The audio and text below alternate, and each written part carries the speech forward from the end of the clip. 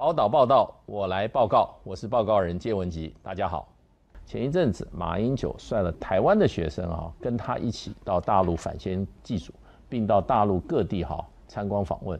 台湾这边的民意哈，几乎一面倒的支持马英九这次的探军之旅，认为他这样做对于现在紧张的两岸关系哈。的和缓有非常大的作用，而且有超过一半以上的哈台湾的受访民众也认为，九二共识才是解决哈两岸目前僵局哈最有效的一个方法。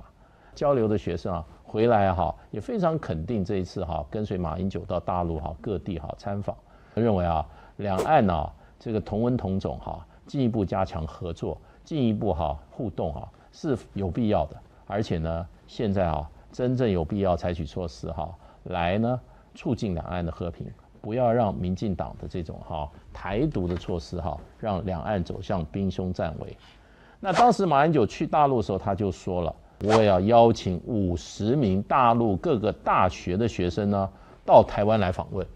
那马英九言出必信啊，回来以后呢，他就开始进行这种作业。可是照目前台湾的规定呢？这种大陆的哈，这种团进团出的这种啊，这种邀访呢，必须要跟主管单位所谓的陆委会哈提出申请。那事实上呢，马英九还没有提出申请呢，陆委会就已经什么先发制人，暗地里放冷箭，没有善意，只有恶意。他说啊，这个问题哈，这个哈。呃，现阶段的这个两岸关系啊，是有帮助呢，还是没有帮助？那么我们要从严的来审核这种情况下，这种访问对台湾两岸的情势有帮助吗？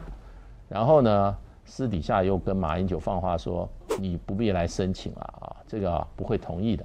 马英九立刻要求要跟现在的陆委会的负责人啊，邱泰山啊，当面来质问，说为什么不能来？那你们表面上希望怎么？两岸关系怎么样？要对话，两岸关系要合法，不是说假的吗？陆委会哈仍然一意孤行。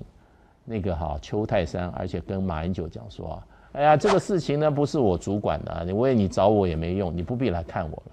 所以呢，不但说给马英九碰了一个软钉子啊，也给了一个硬钉子。也就是说，你根本就不要来提出申请了，是不会准的。陆委会为什么连大陆的学生来台湾访问哈？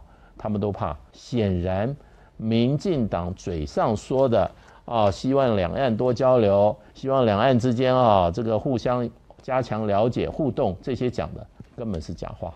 民进党讲的话，通通啊，到了实际在考验时代啊，都没有办法怎么兑现。那蔡英文也也也公开多次讲过了，他说啊，后疫情时代，两岸要进行永续交流，那，和平。那是两岸唯一的选项，讲得很好听。那我们到实际上，只是五十名大学生，大陆的大学生到台湾访问，你都要卡，到底是什么问题呢？他基本上就是在选举，因为他在这个选举的时刻呢，他靠的基本教义是什么？就是跟大陆对抗，就是跟什么呀？大陆什么死磕，这样才能获得他的这些好基本群众的支持。另外一方面。在国际上面来讲的话，民进党一点都不愿意哈，让美国人或者国际社会认为哈，两岸是有友好、有和平、有互相这个哈正面交流互动的机会的。他把两岸之间哈搞成一种零和游戏，坚强的对抗，这样呢，美国也好，或者美国的这些哈狐群狗党的国家也好，才会呢支持蔡英文。把这些啊，这些不管是哈政治上的也好，外事上的也好，军事上的好处呢，来分给他们。如果蔡英文今天愿意做和平的互动的话，那么哈可能啊，他过去营造的哈这一项两岸之间哈兵凶战危哈，以换取国际社会同情的这个整个的策略哈就破功了。所以呢，蔡英文跟民进党根本就从打心里就不希望两岸和平啊。就不希望两岸永续交流啊，更不要说哈，两岸之间有什么哈实质互这个哈双方有利的互动，两岸的和平，两岸的发展啊，两岸的整合，今天很清楚啊，最大的敌人就是在台湾目前掌握执政的民进党机构跟他们的这些哈这些台面上的人物。民进党今天在台湾跟台湾的对两岸关系希望和平发展这个主流民意啊，已经越来越偏离了。从这次马英九啊啊邀请五十名大陆学生哈这样一件有意义的事，都被民进党当局哈不管台湾民意如何看哈断然拒绝。我想我们从中啊学到的哈一些教训。我觉得两岸交流非常重要，不能因为民进党的反对哈民进党的作梗哈我们就不推动。越是民进党反对的事情想要做的，越要积极推动。因为这个是对他最好的一种什么还击？报道报道，民进党哈在选举上又出损招了。那么这一次是用技术性的方式，有不少台商因为疫情期间啊长期在大陆未返台，导致户籍被迁出。近期有些台商跟台湾海基会表达意见，希望返台投票。台湾海基会表示。必须在今年七月十三号以前完成恢复户籍登记，才可以投票。那民进党为什么要这样做？他怕的是什么？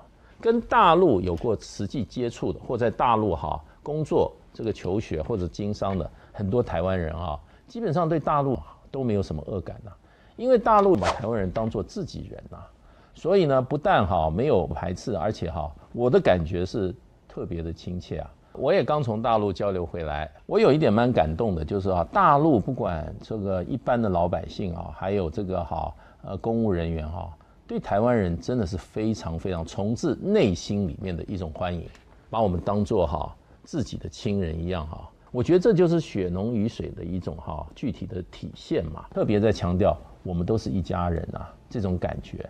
所以在大陆的台商，当然当然希望是希望两岸哈能够尽早怎么样。走出目前这个紧张的状态，那么希望呢，两岸哈和平发展，最后呢，然后整整合融合。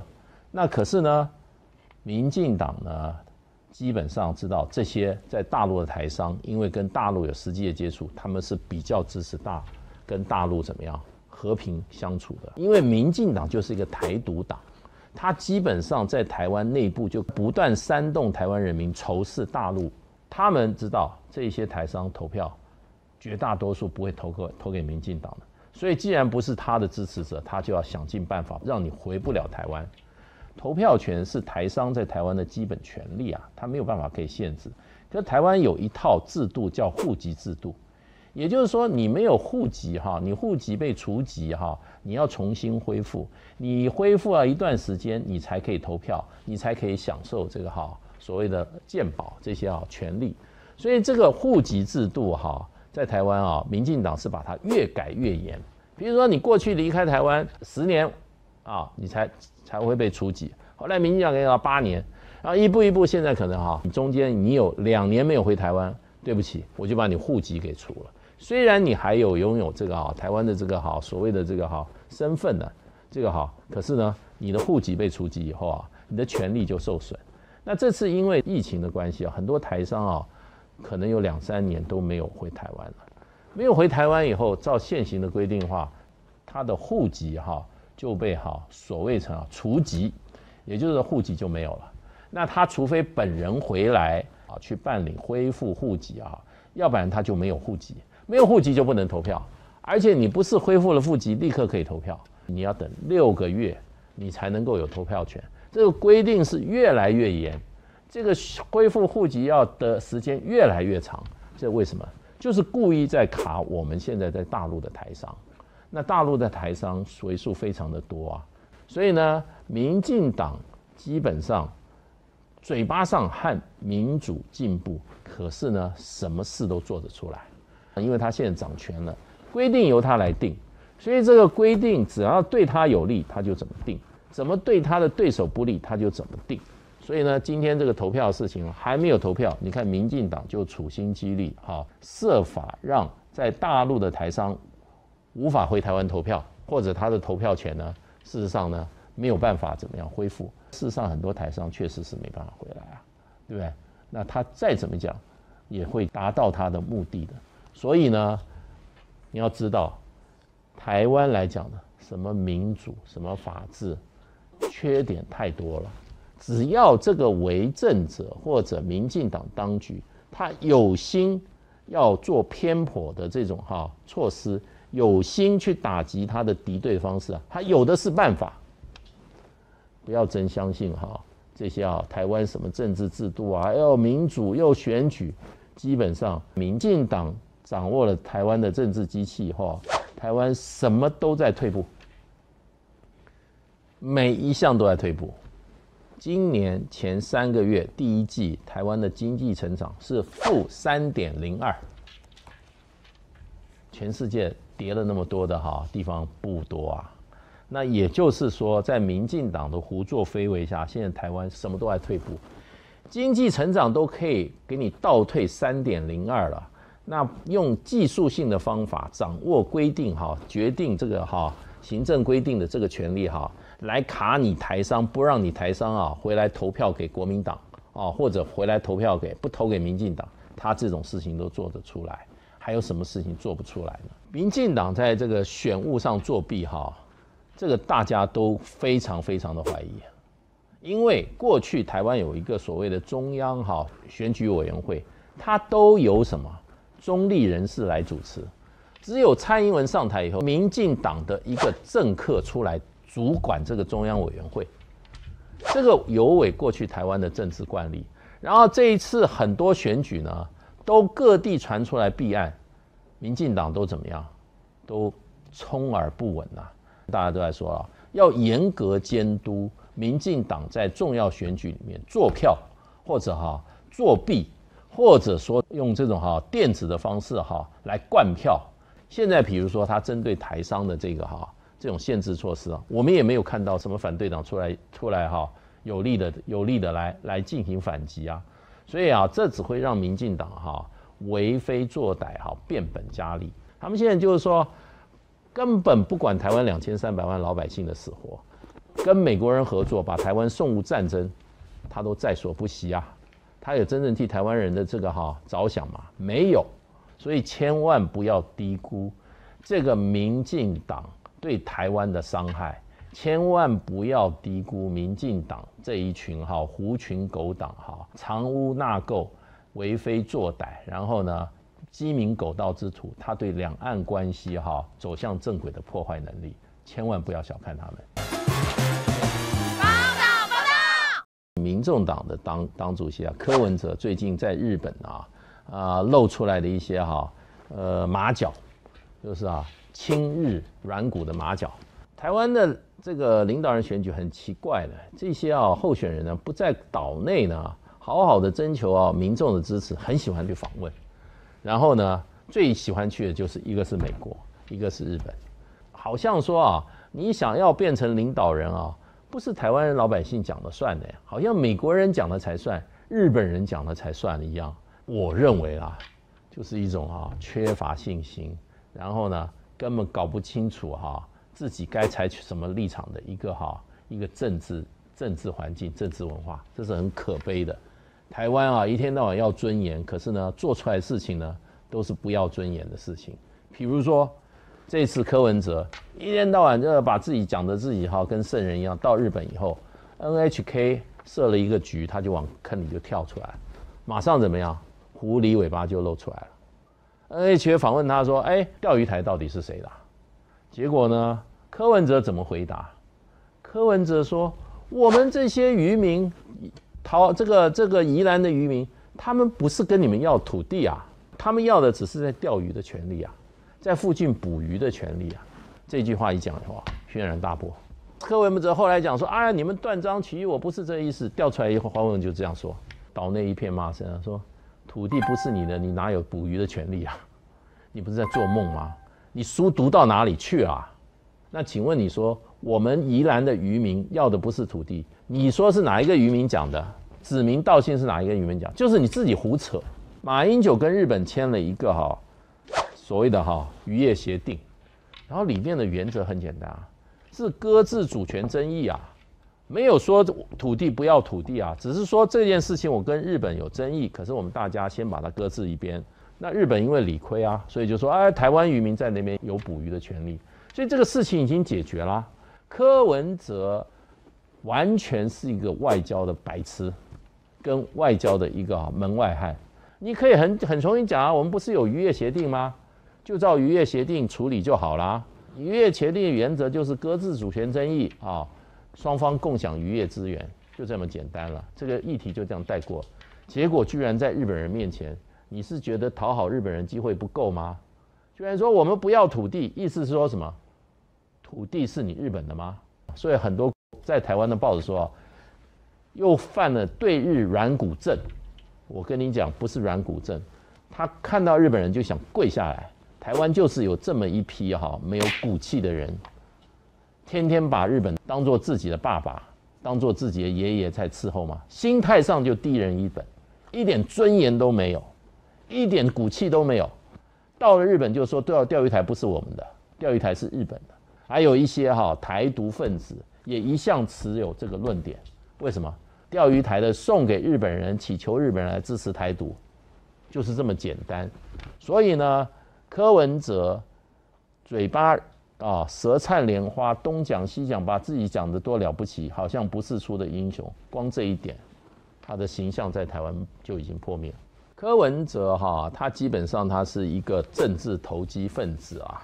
他现在为了选举哈，只要能够哗众取宠，只要能够骗到选票的这些所谓的哈这些呃很奇怪的点子哈，他都会讲。